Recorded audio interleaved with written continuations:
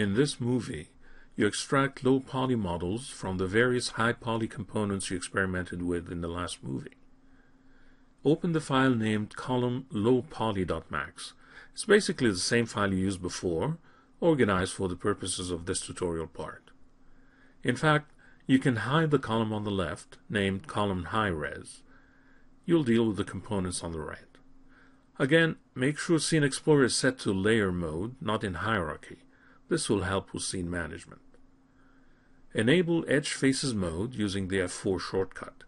You'll need to see the geometry in order to simplify it. Zoom in and select the column base. You'll start with that piece. First, it's best to make a copy of it as you need both high poly and low poly versions of the same model. This can be done using Ctrl V, but make sure the duplicate is a copy as the two models need to be edited differently. Name the copy Low Poly Base and click OK. At this time, the copy is still part of the high poly layer. It's better to make it part of the new low poly layer. With the newly created low poly base object selected, click the Create New Layer icon. A new layer named Layer 001 is created. You may need to resize Scene Explorer if you can't see the icon. Rename the new layer Low Poly. Note that the previously selected object is now part of it. Select and isolate the new object in the Modify panel, take a look at how you can simplify its geometry. In this case, the modifier stack is still present. The object has not been converted to an editable poly just yet. This means you can make adjustments at the various modifier levels. For example, at the Edit Spline level, you could access vertex mode and delete spline vertices to simplify the curves. Or you could even go down to the shape level and adjust its interpolation. At the bevel profile level, you could potentially edit the profile to simplify the extrusion, but that would affect the high poly model as well. Instead, you'll simply remove edges at a poly editing level. However, you can edit the bevel profile modifier by disabling the capping options, as the top and bottom polys will be hidden from view at all times. add an Edit Poly modifier to the top of the stack, and go to Edge Level. Select a series of edges that you think you can remove to simplify the curves.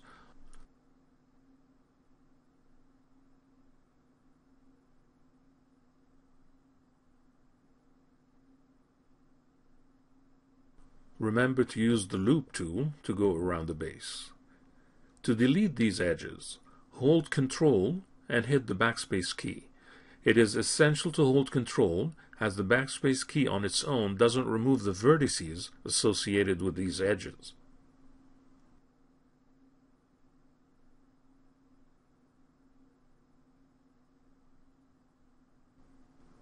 Continue making these corrections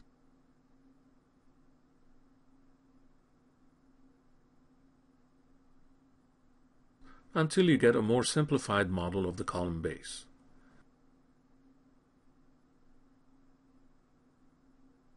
When you're done, there would still be a few adjustments to be made.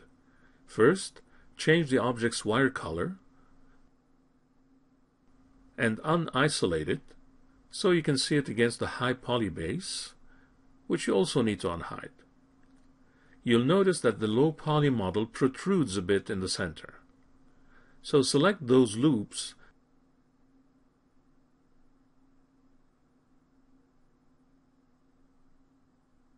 and move them or scale them so that they are contained inside the high poly object.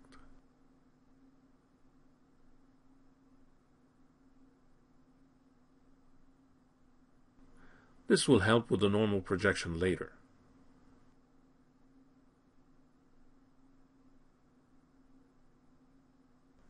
Hide the high poly model again when you're done.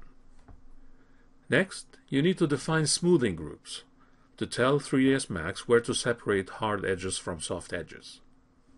In poly mode, select all polygons and clear their smoothing groups. This will give the object a faceted look. Start from the ground up, select rings of faces that should be smoothed together, and assign them a different smoothing group. Do this in the front view, as it's easier to select the rings. The first ring is in group 1, the second on group 2, etc.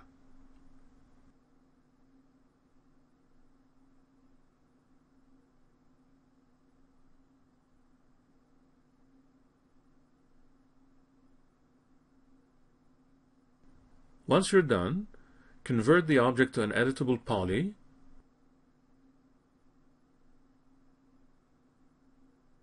and exit isolate mode to work on the next one. The object's high poly column, high poly column head, and high poly hat top are similar to the base object, so I'll let you work on these on your own.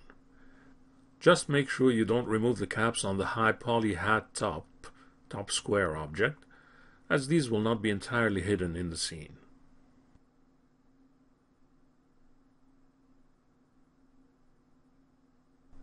If you feel like skipping this part, then you can merge the file named column low poly comps.max.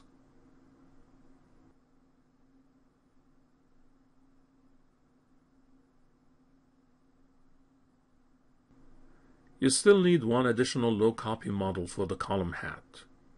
This will be extracted from the object named high poly hat object middle.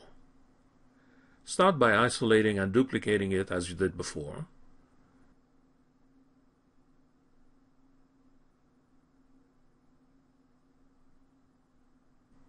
Make sure you place the copy on the low poly layer And for good measure, don't forget to change the swire color. Since there's already a symmetry modifier, this will help you work only on one side with the results duplicated to the other. At the editable poly level, edit the edges to simplify the model. You can certainly remove the protruding ring, as its effects will be handled by normal maps. Depending how close you plan to have a camera in that area, you may opt to leave a bit of geometry there. The choice is up to you. Continue simplifying the geometry by selecting and deleting loops using Control Backspace.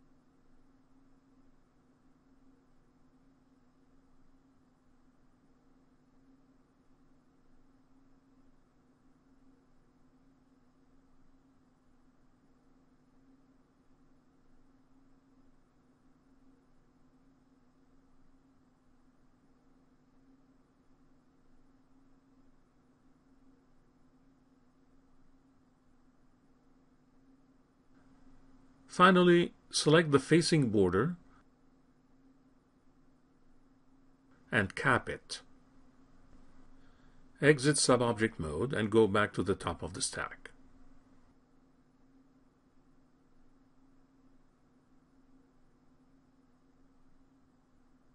Convert the object to an editable poly and adjust its smoothing group.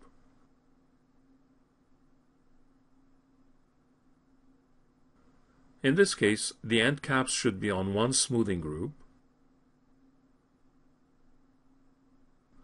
and all the other polys on another.